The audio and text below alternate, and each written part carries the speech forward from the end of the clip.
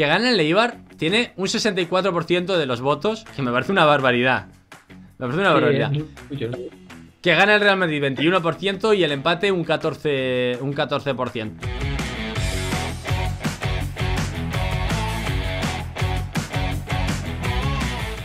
¿Qué tal? ¿Cómo estáis? Bienvenidos a un nuevo vídeo, soy Marcos Gerrallado y vamos a hablar de fútbol femenino. Por eso aquí, soy Marcos Footfem.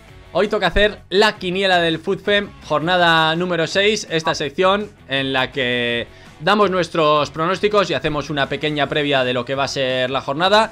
Como siempre, con invitados nuevos cada semana y en esta ocasión el invitado no es otro que Gorka Urresola de Regate Femenino. Bienvenido, ¿cómo estás? Eh, muchas gracias, primero de todo, Marcos, por, por darme esta oportunidad de estar aquí. Y bueno, pues eh, poder hacer contenido sobre el fútbol femenino. Una de las razones por las que estás aquí, como te dije, como te dije por privado, es porque tú has empezado recientemente también a emitir en, Twitch y os recomiendo a todos los que estéis por el chat que le, que le sigáis. Lo único que te voy a lo único que te voy a pedir a partir de ahora es que no me contraprogrames y no me vayas robando robando viewers. Eh, Segunda ya me acuerdo que, ese día coincidimos, pero digo, está. Primero dejamos a, a Marcos, el que sabe, y luego, pues si algún. Ya avisaré más con anterioridad y, y algún a horas más. Que no coincidamos tanto, ¿no? Por decirlo de una forma. Segunda cuestión que te quería preguntar. ¿Estás jugando a la quiniela del FUTFEM? ¿Estás inscrito en esa quiniela en la web jugando jornada tras jornada? ¿O te voy a obligar a que te apuntes ahora mismo? Pues me vas a tener que obligar porque lo vi unas, un par de jornadas más tarde y, digo, ostras, no sé, eh, me voy enterando por los directos que, has hecho anteriormente, pero eh, no, tengo ni idea absolutamente de, cómo, cómo unirme y eso.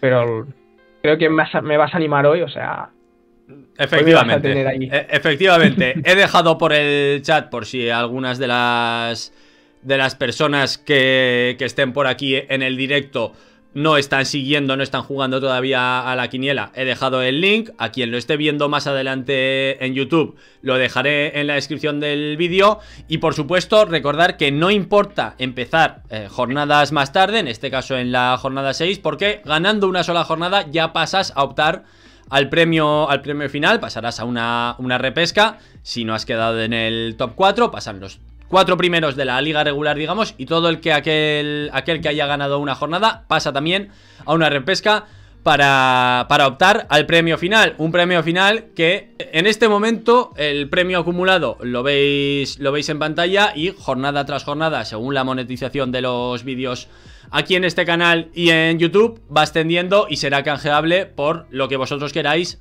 por esa cuantía en la web oficial del equipo que vosotros elijáis de Primera Iberdrola. Dicho esto, vamos a empezar con la quiniela, con nuestros pronósticos. Bueno, con tus pronósticos. Eh, espero que se te dé mejor que a mí. Yo voy ahí en mitad de la clasificación, de momento muy alejado, aunque hubo una jornada que estuve cerca de, cerca de ganarla. Vamos a empezar por el primer encuentro, que se juega el sábado, a la vez Sporting de Huelva. Encuentro que, por cierto, tendrá retransmisión de televisión y tendrá directo reaccionando a ese encuentro en este canal de Twitch con varios invitados. Ya iré anunciando quién se va a pasar en cada uno de los encuentros, pero siguiendo con el tema de la quiniela, a la vez Sporting de Huelva, ¿cómo lo ves, Gorka? yo me decantaría, creo que por... Y no sé si, yo creo que la mayoría también pensaremos lo mismo por lo que ha sido este inicio de liga del Deportivo a la vez. Plantando cara pues al Atlético, aunque pues luego se llevó esa goleada del Barça, eh, fue capaz de meterle un gol y pues también plantó cara en los primeros minutos y, veo las sensaciones, además jugando en casa, pues creo que las sensaciones del Alavés son para, para ganar este partido. Claro, del Sporting de Huelva no podemos opinar tanto porque mm, no sé qué partidos podrás, podrás acudir tú en persona, pero desde luego ver por televisión no hemos podido ver. Que la gente vaya diciendo, vaya diciendo por el chat cuáles serían sus pronósticos en cada uno de los encuentros, sobre todo porque la jornada en la que os pedí ayuda, em, salió bien, salió bien. Fue la que estuve cerquita de, cerquita de ganar. Y yo me fiaré de lo que vayáis, de lo que vayáis diciendo. Desde luego, creo que en este Alavés Sporting de Huelva, sobre todo por el comienzo del, del Alavés, veremos lo que plantea el equipo onubense, pero parece uno de los encuentros en los que, en los que está decantada la balanza, o por lo menos la gente no va a arriesgar, no va demasiado. Pasamos al siguiente, también del propio sábado. En, el momento de grabar este vídeo, sin retransmisión televisiva, el Villarreal ha dado algunos partidos, pero, pero no tengo muy claro si va a dar este o no. Villarreal, Granadilla. Eh, bueno, este es más complicado porque el Villarreal parecía que sería uno de los equipos, pues como el Alavés, ¿no? Porque al final los recién ascendidos suelen sorprender. Pero sí ha empezado de forma más irregular. Y, bueno, el Granadilla, por tradición y por, por la categoría que tiene, em, si no me equivoco, em, empataron ¿no? a dos contra el, contra el Levante. Em, lo digo más de memoria ahora. Pero yo sinceramente me, me decantaría por el equipo canario. Eh, bueno, Granadilla, de hecho, es que repasa su trayectoria desde que está en, primera, en primera división. Y, es excelente. Nunca han sufrido por evitar el, por evitar el descenso y han tenido temporadas, incluso recuerdo que quedaron, que quedaron cuartas y comentadas. Y, lo dice Jordi por aquí por, eh, por el chat que, no es que fuera un empate contra Levante, es que se llevaron la victoria. Se llevaron la victoria contra el. contra uno de los equipos que es candidato a entrar en Champions. Que vimos cómo compitió al. al Olympique de Lyon mismamente. Eh, yo creo que es un partido que puede, puede estar muy abierto. De hecho, el Villarreal. No digamos que tiene que puntuar ya, pero las sensaciones son de, equipo irregular, que yo creo que te puede ganar, pero también eh, no sería favorito en este encuentro. Entonces, no lo sé, tú me has dicho un 2, ¿no?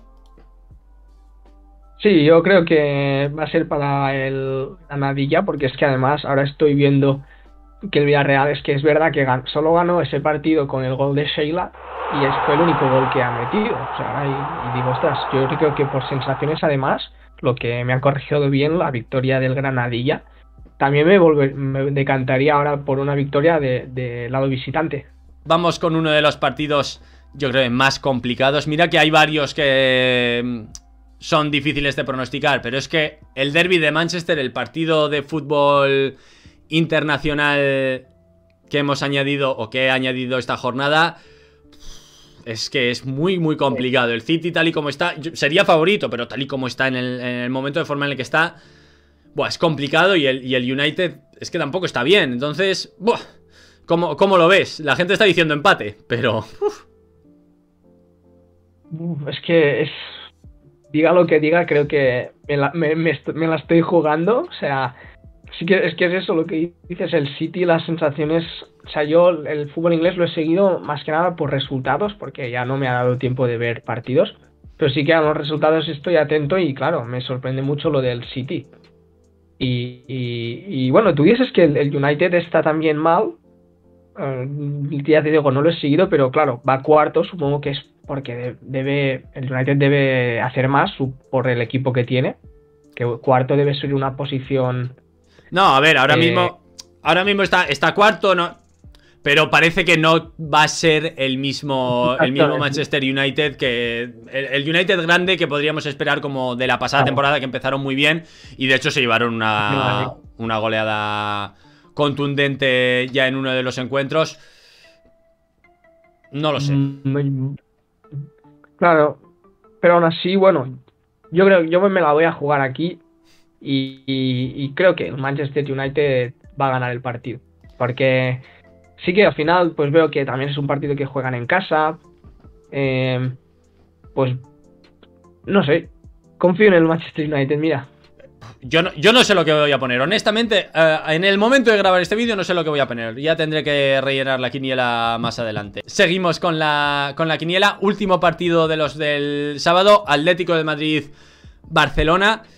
Otro partido que además tendrá directo reaccionando en, el, en este canal de Twitch. Va a haber doblete el próximo sábado. ¿Cómo ves el Atlético de Madrid-Barcelona mientras suena el himno del Barça activado por Jordi? Bueno, es. A ver, la lógica me diría que el Barça tiene que ganar este partido. Pero claro, este va a ser el primer duelo así complicado y, para ver si el Atlético de verdad se ha preparado bien, ¿no? Y, además, pues, el Barça pues viene pues de jugar a Champions, que tampoco creo que sea una excusa, ¿no? Pero por decir, por, bueno, si al final le vas dando vueltas, también es un, partido difícil. Pero bueno, yo creo que el Barça va a ganar. Eh, tampoco me sorprendería una sorpresa, justamente en este partido. Pero si gana el Barça, no creo que sea de forma cómoda. A, eso iba a ir, porque por el, por el chat en el directo veo muchas goleadas del Barcelona y es que es capaz de ello, perfectamente. Es capaz de, golear, por eso. es que este equipo es capaz de todo, pero ya toca ponerle un poco más de picante ya a la, competición y a ver si el Atlético ya consigue volver a ser el de, antes. Pero no, el 2 es, es, o sea, es un 2. Pero es, un poco. Es un poco lo de, Igual en este partido podría ser, pero no me lo voy a jugar. No me lo voy a jugar porque es que ir, en contra del Barcelona, de este Barcelona. Vamos, vamos al siguiente encuentro. Empezamos con la jornada del domingo. El que abre la jornada es un Levante Valencia, Derby Valenciano. En el momento de, de emitir este vídeo o de grabar este vídeo sin televisión, veremos más adelante. La cuenta de la primera Iberdrola ha hecho un sorteo, pero yo preferiría que menos sorteo y más televisión. Ya sé que tampoco es culpa solo de, solo de ellos. A priori, en este encuentro es favorito el Levante.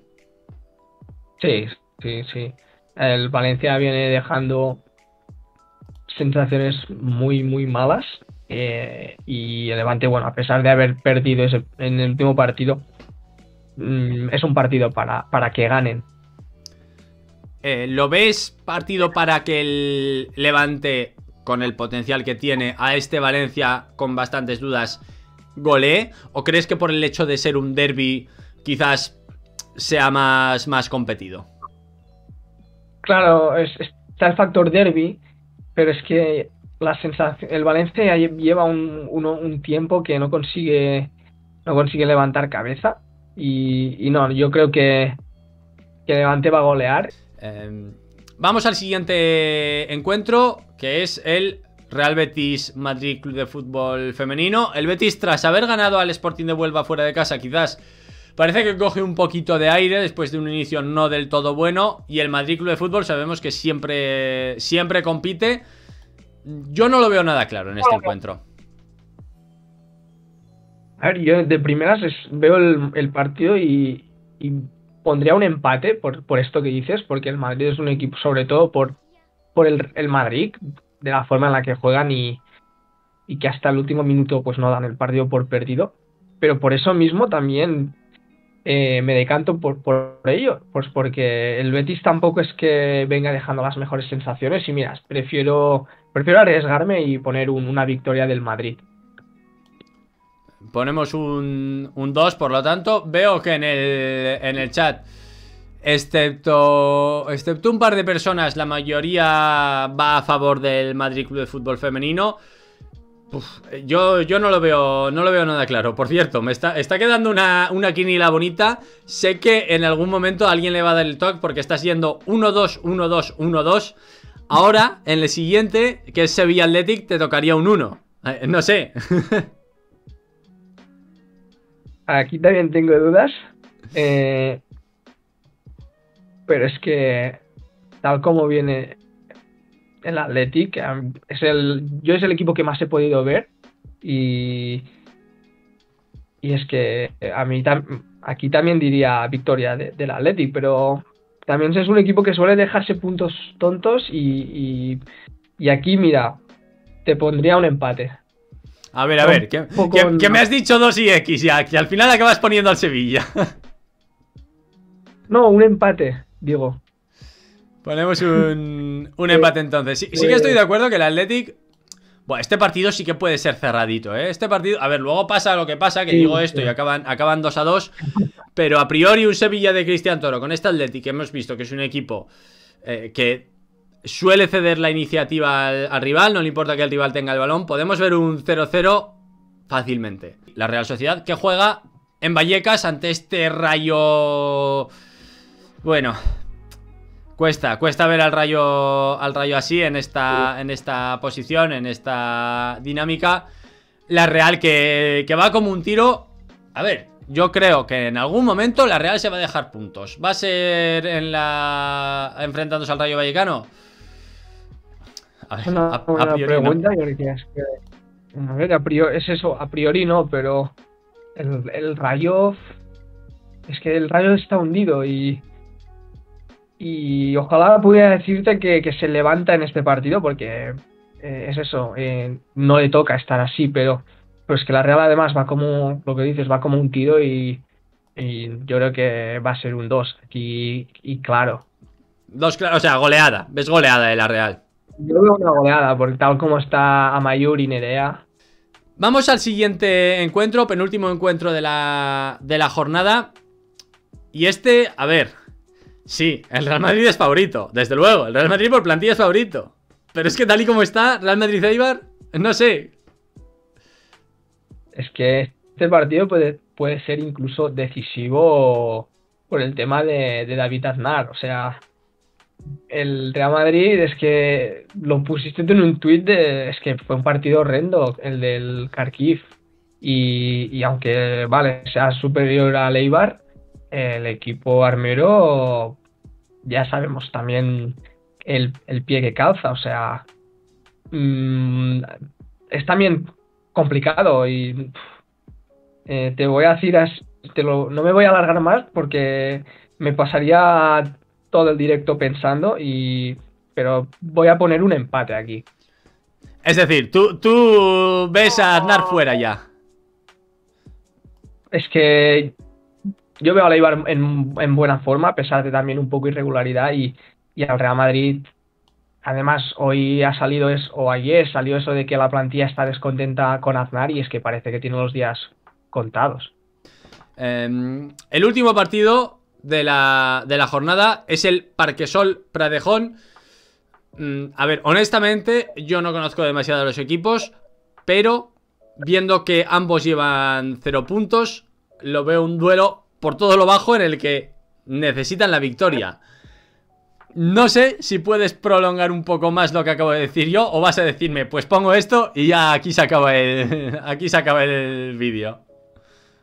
A mí me gustaría poder prolongarlo. O sea, yo eh, de equipos eh, tenía más visto al Parque Sol de, la pasada temporada que sí que estuve un poco más, bueno, más atento no en los partidos sino en, ver resultados, ¿eh?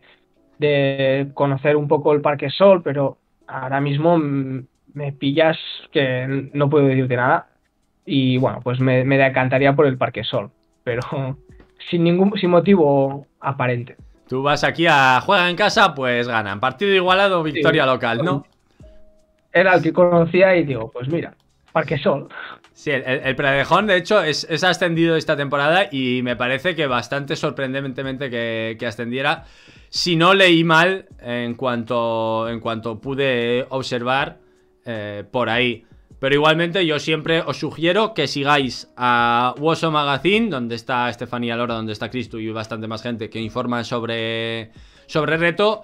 Y a Marcos Marín, que también tiene muy controlados a los equipos porque va a verlos. Y de hecho yo creo que al Parque Sol lo sigue bastante y os podrá decir un poco más. Aquí ponemos el 1 el uno, el uno en la quiniela. Esta sería la quiniela del FoodFem para la, para la jornada 6. Eh, muchas gracias Gorka por haber, por haber participado en este vídeo y ya sabes, te seguimos también en Regate Femenino aquí en Twitch. Gracias, muchas gracias. Gracias a todos los que habéis estado en el directo, en el directo de hoy. Mañana tenemos más. Eh, sábado, domingo, creo que va a haber triplete. Creo que va a haber sábado por la mañana, sábado por la tarde y domingo por la mañana. Y por la tarde estaré muerto. Y hasta aquí el vídeo de hoy, si os ha gustado dejad vuestro like, no olvidéis suscribiros al canal y activar las notificaciones para no perderos nada. Y si además queréis estar acompañándome en los directos como este, seguidme también en el canal de Twitch, soy Marcos Foodfem en todas las redes sociales, te dejo los links en la descripción de este vídeo y te espero en el próximo.